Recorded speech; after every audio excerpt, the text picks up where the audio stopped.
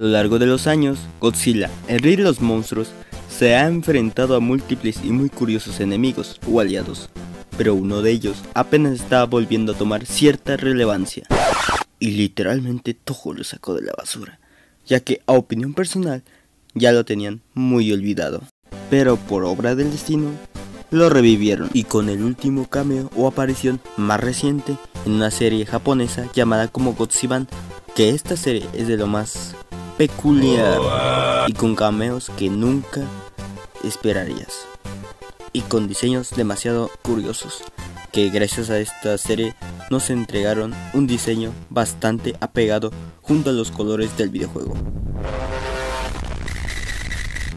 Pero en esta ocasión crearemos un Bagan o mi versión de Bagan tomando como inspiración varios fanarts de este monstruo. Sin más, comencemos.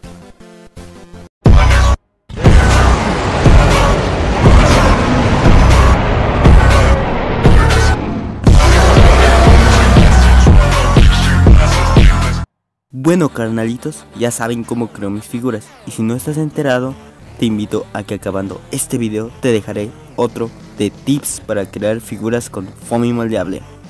Ya creando este esqueleto todo básico, tocaría en hacer la musculatura de este Kaiju. Después de hacer el esqueleto nos esperamos 48 horas para que todo se seque. Y con ese foamy moldeable empezamos a cubrir y detallar la cabeza. Yo por ejemplo quiero darle un aspecto más grotesco, pareciéndose a un demonio. Y con mondadientes se los encajamos en la espalda y con el foamy le damos forma a su espalda. Con ello nos esperamos otro día a que se seque para no destruir esa anatomía o ese esculpido que tenemos planeado. Pero bueno, como están viendo también, esculpimos su pecho. Yo le pondré dientes o como una enorme boca con cuatro ojos, que se vea intimidante. Para lo que serían los pies o las patas usamos papel cascarón. Lo recortamos y lo pegamos con la pistola de silicón. Cuando se seque el pegamento quedará perfecto y lo forramos con foamy moldeable. Sin necesidad de pegamento. Como les digo, esto es todo con calma. O sea, hacer parte por parte del cuerpo y no hacerlo todo de golpe. Que por las prisas no te saldría bien. Pero nadie te lleva a la carrera. Tú experimenta y detalla lo que para usted sea favorable. Yo la verdad me, sí me doy mi tiempo para ver qué puedo hacer o qué detalles le puedo meter, ya que con el cúter y mondadientes son herramientas con las que puedo esculpir y darle mucha textura o detalle a este monstruo. También me tomé algunas libertades creativas para crear este Bagan, pero yo digo que el resultado final quedaría bien.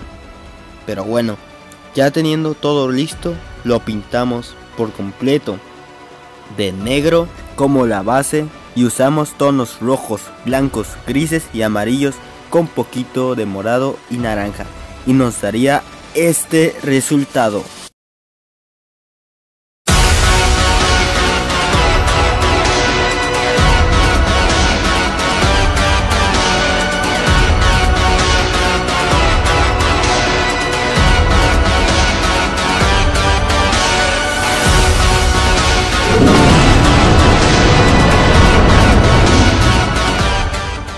Y bueno bandita, así nos quedaría, la verdad se me hizo muy bueno el resultado final junto a la pintura que apliqué, fue de puro pincel seco, de color gris muy claro para que se notara esas arrugas de esta criatura. Si quieren saber más información de este Kaiju, les dejaré unos videos hablando de este monstruo que son interesantes, abajo en la descripción. Y wow, 68 añotes de este icónico monstruo conocido como Gojira, que aún me sigue encantando y le dedico este videito a este rey de los monstruos. Y nuevamente les agradezco a toda esa gente bonita que sigue apoyando esta clase de contenido. En verdad, ya saben que por temas de universidad y esas cosas no puedo crear el contenido tan seguido como me encantaría. Pero aquí estamos, que aún teniendo gripe, acá ando subiendo videos. Así que gracias compadres. Y ya se la saben, si les gustó este video, denle su like, compartan Y si eres nuevo y estás viendo este video, te invito cordialmente a que te suscribas y actives la campanita para que te lleguen los próximos proyectos. Que por cierto, si quieren saber qué tanto hago en ocasiones, aparte de Cayus y Fomi, síganme en mi Instagram, que ahí hablo con los subs y pongo cosas de mi día a día o cosas chistositas.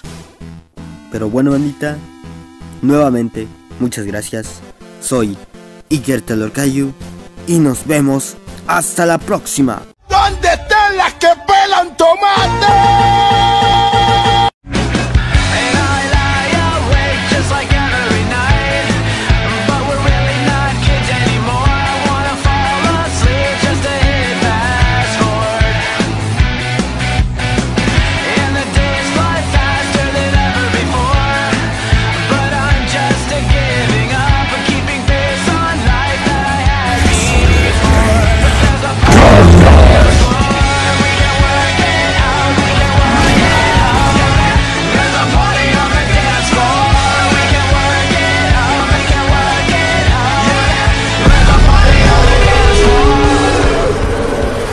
Eso es asombroso.